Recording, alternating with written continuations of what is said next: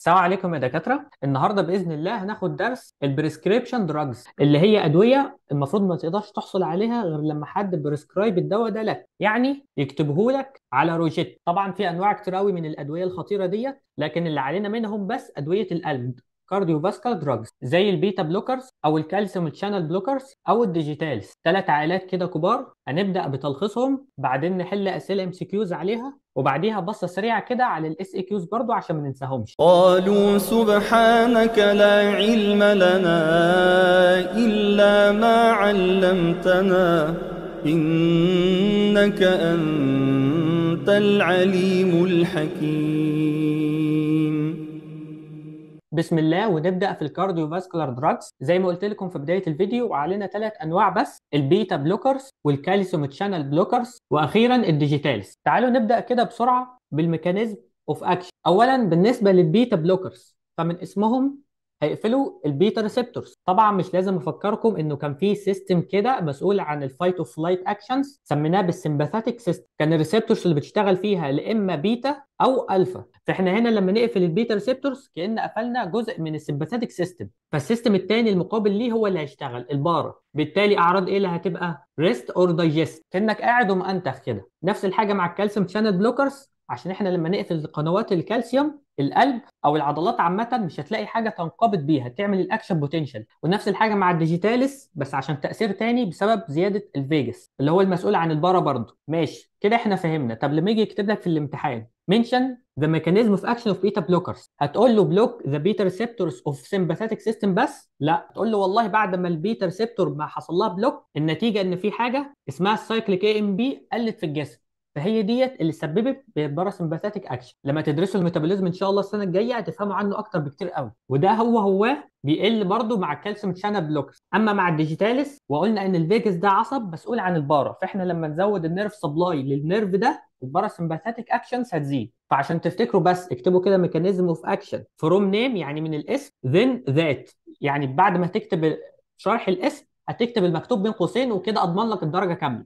بإذن الله. ماشي. بالنسبة بقى للأنواع لل types هل بقى هتعمل flash cards وتفضل تحفظ لل calcium channel blockers مثلا verapamil nifedipine diltiazem وما إلى آخره؟ لا. ليه لا؟ عشان أنت مش في pharma. كفاية عليك نصيحة مني ليك تحفظ كلمة واحدة تساوي 1000 نوع. جت إزاي دي؟ لل beta blockers هتحفظ ال suffix olol. يعني أي حاجة أخرها olol beta blocker. وأشهرهم البروبرانولول. وده ال most dangerous اسمعوها مني كده بس عشان لو جت. أو الأتينولول. أخرها olol برضه. أما ال calcium channel blockers فبيبقى آخرهم dipine. زي ال nifedipine أو ال amlodipine. وطبعا أنا لما أقول لك rule زي ديت أعرف إن أي rule بيبقى ليها exception زي مثلا ال verapamil. ده برضه calcium channel blocker واسمع عنه مني كده بس زي ما قلت لك ما تكتبهوش غير لما نحتاجه قدام في الأسئلة والحاجات التانية اللي هقول لكم تكتبوها برضه أما مع ال digitalis فبيبقى أولهم digi أيوه هي ال pharma كده لا إما حاجات suffixes أو حاجات prefixes ما تستغربش. زي مثلا الديجوكسين إحنا كده الحمد لله خلصنا درس ال cardiovascular drugs طبعا أنت مش مصدقني لأن والله مش متبقى لنا اللي هم أصلا حوالي حاجتين بس. هنبدأ بال clinical picture إحنا قلنا والله في البداية إن كلهم أدوية قلب وإن كلهم ليهم para action. فكلهم هيجوا لك ب bradycardia و hypotension كمان. سألك بسبب إيه؟ خير وبركة. نقول له بسبب ال decrease بتاع حاجة اسمها ال DIC of heart بعد ما أقولهم لك ما تقوليش أنا ما كنتش عاوز اعرف أنا مش عارف الصراحة إزاي هتبقى طبيب بدون ما تعرف الثلاث مصطلحات دول. بالنسبة لل D فمقصود بيه ال dromotropy أول مرة تسمع عنه؟ مش مشكلة. اكتب بين قوسين كده conduction يعني انتقال الكهرباء في القلب. بت... اللي بيحصل لها بتقل. decrease وتاني حاجة معانا ال inotropy وده ال contraction الانقباض بتاع القلب. وآخر حاجة معانا ال chronotropy اللي هو بقى سرعة القلب. اكتبوا الكلام ده دلوقتي يا دكاترة عشان همسحه. أول ما أقول خلال الفيديو نقص ال DIC of heart على طول تفتكروا الثلاثه بتوعنا dromotropy inotropy chronotropy. بتتلخبط ما بينهم؟ مفيش مشكلة. chrono حروفها أطول حروف فهنفتكر إن هي أسرع حاجة. فنتكلم هنا عن السرعة. أما ال inotropy هنفتكر إن هي ايون tropy فهنقول والله ال ions بنحتاجها في ال contraction في ال action potential وال dromotropy هي اللي هتتبقى مع ال conduction ولو سألك عن ال mechanism of action برضو يبقى أقول له نقص في DIC of heart بيحصل في في ال mechanism. نقول بسم الله كده على ال clinical picture عشان إحنا أصلا خلصناها كده. هنميز ال beta blockers بال hypoglycemia وال hyperkalemia زياده البوتاسيوم في الدم. واحفظوها كده زي ما هي. أما ال calcium channel blockers هنميزها بال hyperglycemia وال digitalis عندنا علامتين فيهم مميزين. إن والله المريض بيشوف الحاجات باللون أخضر مصفر غير إنه في البداية بيحصل له GIT disturbance اللي هم الأعراض اللي اختصرناهم في حروف سيدم ال colic أو المغص و diarrhea أو الإسهال و nausea اللي هو الإحساس بالترجيع و vomiting اللي هو الترجيع بقى فعلا. لو ما كنتوش تعرفوا ال mnemonic ده اكتبوه دلوقتي بالمختصرات بتاعته بس كده. وتاني حاجة معانا ال treatment هنعالجه إزاي؟ والله مع الثلاثه هتدي له جلوكوز. حتى مع اللي عنده hyperglycemia ده آه. حتى بتاع ال hyperglycemia ده آه. ما تقلقش زيادة الجلوكوز مش هتقتله. إحنا بندي له الجلوكوز عشان يرجع ال functions بتاعت القلب زي ما كان غير إن إحنا يا عم هندي له انسولين كمان عشان يدخل الجلوكوز الخلايا. طب وبس كده هنسكت؟ لا ما تنساش ال specific antidote بتاعنا. ده مع ال beta blockers بندي له جلوكاجون بلاش ندخل في متاهات وأقول لك هو بتاع إيه؟ عشان مش هتصدقني لو قلت لك إنه بيعمل عكس ال actions بتاعت الإنسولين. بيزود الجلوكوز في الدم. طب مع ال calcium channel blocker كده تتوقعوا هندي له إيه؟ بكل بساطة هندي له كالسيوم. أما مع ال digitalis هندي له ال antibody المحترم بتاعنا اسمه Digibind ده ال specific antidote بتاع ال digitalis شوف بيبدأ بال prefix digi برضه زي كل حاجة في ال digitalis فمحدش ينسى ال prefix ده بقى. ده حتى ال antidote عنده نفس ال prefix بس كده؟ آه بس كده. شفتوا الموضوع بسيط إزاي؟ إحنا بس مش عاوزين ننسى ال other notes بتاعتنا شوية notes كده ملاحظات اعرفوها. إن والله مع ال beta blockers مستواه في الدم مش مرتبط بنسبة التسمم. فسواء ال beta blockers عالية أو واطية في الدم ده ما يقولناش الراجل اللي قدامنا ده متسمم قد إيه. أما مع ال calcium channel blocker هنا هنقول ال suppression of insulin release هو السبب بتاع ال hyperglycemia لأن الإنسولين ده زي ما أنتم عارفين بيدخل الجلوكوز جوه الخلايا. لو ما فيش إنسولين يدخله جوه الخلايا هيفضل في الدم فنسبته في ال emia اللي هو الدم هتبقى عالية. وبالنسبة لل digitalis بيقول لك ال antidote ده لسه جديد فأكيد غالي. إحنا مش هنديه لكل الناس. ده أصلا عبارة عن antibodies لو تعرفوا. افتكروها بي بي في antibodies ما علينا بيقول لك اديه في ال severe cases only يعني إيه ال severe cases يعني الحاجات ديت قوية قوي. نديله مثالين كده عشان ما يزعلش.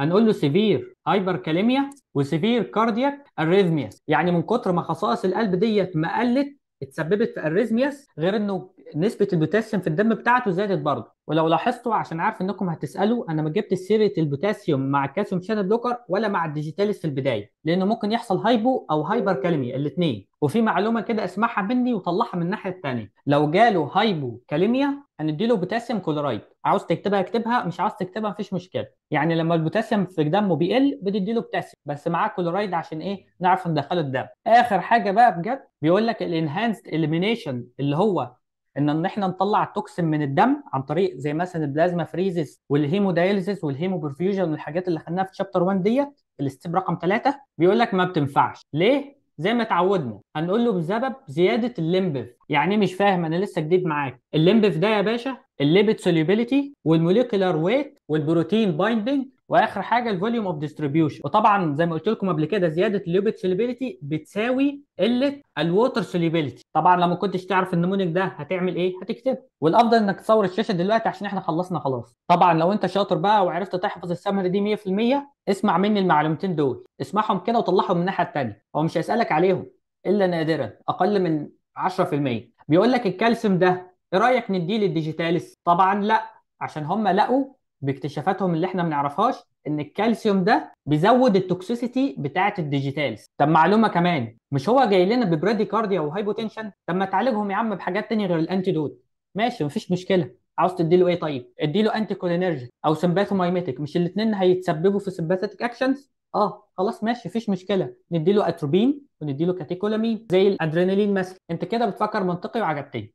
خلصنا كده الحمد لله. نروح بقى للأسئلة بسم الله. هنحل مع بعض إن شاء الله سبع أسئلة. MCQs بعدين نروح على سبع أسئلة تانيين SAQs وما تقلقوش اللي بإذن الله درس السمري اللي إحنا عملناها دلوقتي هيعرف يحل أكتر من 90% من الأسئلة اللي ممكن تعدي عليه. بس طبعا اللي موجودين في جامعتنا فقط. محدش يجيب لي أسئلة خارجية. بيقول لك هنا beta blocker overdose causes increased intracellular cAMP concentrations يعني هل ال beta blocker ده التسمم بتاعه بيسبب في زيادة ال cyclic AMP إحنا عرفنا كده. إحنا عرفنا والله إن مع ال beta blocker ده ال cyclic AMP بيقل. حتى مع ال calcium channel blocker لو لاحظته يعني. فمنطقي قوي اللي هو يقول لك false blood level of beta blockers correlate with its toxicity ها قلنا إيه في ال other notes لا. ومش بس ال beta blockers على فكرة. إحنا خدنا قبل كده ال TCA مش ب correlate with its toxicity غير اللي إحنا أخدنا كمان الاسبرين اللي هو correlate بس poorly with its toxicity وأخدنا كمان إيه؟ هناخد كمان لسه كتير يعني بنفس الوضع ده فما تنساهوش ال beta blocker does not correlate with its toxicity. آه، في ال plasma level. أهو ركزوا لي كده على النقطة دي. beta blocker overdose causes decreased intracellular cyclic AMP concentration. لسه حالين سؤال شبهه. ال beta blocker مع ال calcium channel blocker فعلا بيسببوا في ال decrease بتاع ال cyclic AMP one of the following is not a manifestation of beta adrenergic blockers overdose. الإجابة hypokalemia لأن إحنا كاتبين هنا في clinical picture إيه؟ hyperkalemia العكس. البوتاسيوم بيزيد في الدم مع ال beta blocker أما مع الكالسيوم وال digitalis لا ممكن يقل ممكن يزيد. وكان حاطط لك ثلاث اختيارات تانيين. كان حاطط لك hypoglycemia صح وكان حاطط لك bradycardia صح وكان حاطط لك hypotension برضه صح. يبقى كده فعلا إجابة السؤال ده B hypokalemia وصلنا لسؤال case يا دكاترة. وقفوا الفيديو كده دقيقة وحاولوا تحلوه بنفسكم عشان مش هقرا كل ده. هقول لكم ال keywords بس. 3 2 1 بيقول لك واحد عنده 44 سنة بغض النظر عن عمره جالك بالضغط ده عرفنا إزاي إنه ضغط من ال unit. طب عرفنا إزاي إنه قليل إنه الضغط ده قليل؟ عشان الطبيعي بتاع ال blood pressure وأكيد تعرفوا من 100 ل 140 اللي هو ال systole وال diastole زي ال pulse rate بالظبط من 60 ل 90 اهو ال pulse rate من 60 ل 90 ده normal لو أقل من كده هيبقى إيه؟ هيبقى bradycardia طب هنا لو أقل من كده هيبقى إيه؟ هيبقى hypotension الاثنين دول كنا درسناهم مع ال vital signs كانوا أربعة vital signs منهم ال temperature وال respiration rate برضه. دي أساسيات اكتبوها لو نسيتوها. المهم اللي إحنا لاحظناه إن هو عنده hypotension و bradycardia ده يقول لك إيه كده؟ مش فاكر؟ ده يقول لك والله إن الثلاثه cardiovascular drugs بتوعنا all present with bradycardia and hypotension يبقى أكيد واحد من الثلاثه واخده متسمم بيه. طب ماشي عاوزين نفرق بقى. كاتب لنا هنا hyperglycemia اللي كانت مميزة مع مين؟ مع ال calcium channel blockers أهو ال hyperglycemia مع ال calcium channel blockers the cause of hyperglycemia in this case is طبعا ديت معلومات عامة. يقول لك الجلوكوز لما بيزيد في الدم بيبقى بسبب إيه؟ أكيد والله بسبب نقص الإنسولين اللي كان بيدخل الجلوكوز الخلايا فبيفضل في الدم. طب تعرفوا تقولوا لي ديت حالة إيه؟ أحسنتم calcium channel blocker toxicity لو أنتوا فاكرين ال hyperglycemia كانت بتحصل مع calcium channel blocker ساعتها. وحتى كتبت لكم تحت في ال other notes ال suppression of insulin release هو سبب ال hyperglycemia دي. vomiting is the earliest manifestation of ها ال vomiting ديت كانت إيه؟ كانت من حروف سيدف اللي أخدناهم في GIT disturbance مش كده برضو؟ مع ال digitalis أهو بيقول لك ال early symptom GIT disturbance زي إيه؟ زي السيدم يعني colic و diarrhea و nausea و vomiting يبقى كده والله 36 B كده خلصنا ال MCQs الحمد لله نروح لل SAQs أنا عارف إن هي ما بقتش عليكم بس قراءة سريعا كده. دي طبعا أسئلة من رئيسة القسم نفسها اللي عاملة الامتحان. mention the mechanism of action of propranolol لاحظت أنا قلت إيه؟ أنا قلت olol فاكرين olol دي كانت فين؟ كانت أهي مع ال beta blockers ده والله كان ال suffix بتوع أنواع ال beta blocker فبيقول لك ال mechanism of action أنا كاتب لكم إيه عن ال mechanism of action from name then that يعني هتقول له beta blockers block beta receptors of sympathetic system وبعدين تقول له هيسبب في نقص ال cyclic AMP ولو عاوزين تضيفوا أي حاجة في clinical picture مفيش أي مشكلة. أول حاجة هتقولها له نقص ال DIC of heart اللي هو ال dromotropy وال inotropy وال chronotropy ولو ما قلتش برده مش مشكلة. أنت خدت الدرجة كده كده. ولو رميت لك أي حاجة من هنا أو من هنا أو من هنا أو من هنا كده يعني عادي. هتاخد الدرجه برضه. يبقى إحنا كده خلصنا السؤال الأول. Describe the clinical picture of propranolol toxicity يعني ال beta blockers. هتقول له أربع حاجات. تعرف توقف الفيديو كده وتقولهم لي؟ هنبدأ بال bradycardia وبعديها hypotension وهنقول له نقص ال DIC بس مش لازم. بعدين هنقول له ال hypoglycemia وال hyperkalemia بس كده. How to treat hypotension in propranolol toxicity. لو كان قطع لك السؤال لحد كده how to treat hypotension يعني ك symptomatic treatment هتبقى الإجابة واضحة قوي هتقول له مثلا نركب له محلول saline اللي هو محلول ملح هيرفع له الضغط. والإجابة دي تظل صحيحة. لو قرأنا السؤال كامل وعاوزين نعالج البروبرانولول بغض النظر بقى عن ال hypotension بتاعته أو ال bradycardia أو أي حاجة هنقول له ال treatment اللي إحنا نعرفه عن ال beta blockers هنقول له جلوكوز والإنسولين وهنقول له جلوكوكون بس كده. mention mechanism of action of verapamil toxicity طبعا ال verapamil ده استثناء من أسامي أدوية ال calcium channel blocker كنت قلت لكم قبل كده أي قانون ليه استثناء يعني ال dipine ده ممكن فعلا ينفع زي مثلا ال nifedipine أو ال amlodipine ولكن مش على طول بينفع زي ال verapamil اللي معانا دلوقتي. عايزين تكتبوه كاستثناء مفيش أي مشكلة. فهنا بيقول لك إيه ال mechanism of action بتاعته. هتقول له ال mechanism of action بتاع ال calcium channel blockers. هتقول له والله إن قنوات الكالسيوم ديت بيحصل لها block بتقفل بالتالي ال cyclic AMP بتقل وبالتالي هتقول له ال DIC of heart بينقص. وانتوا عارفين ال DIC يعني إيه؟ describe the treatment of calcium channel blocker overdose. اهو ال treatment بتاعنا بتاع ال calcium channel blockers. هتقول له والله الجلوكوز والانسولين بعدين الكالسيوم. وملحوظه هو بيقول لك describe. فهتقول له الكالسيوم عشان بيحصل block لل calcium channels وهتقول له جلوكوز والانسولين عشان الجلوكوز بيرفع من الخصائص القلب والانسولين بيساعد الجلوكوز إنه يدخل جوه الخلايا بتاعه القلب. ولو ضربت له ديت كمان هيقول لك okay مفيش مشكلة خد درجة. Mention the mechanism and treatment of digitalis toxicity.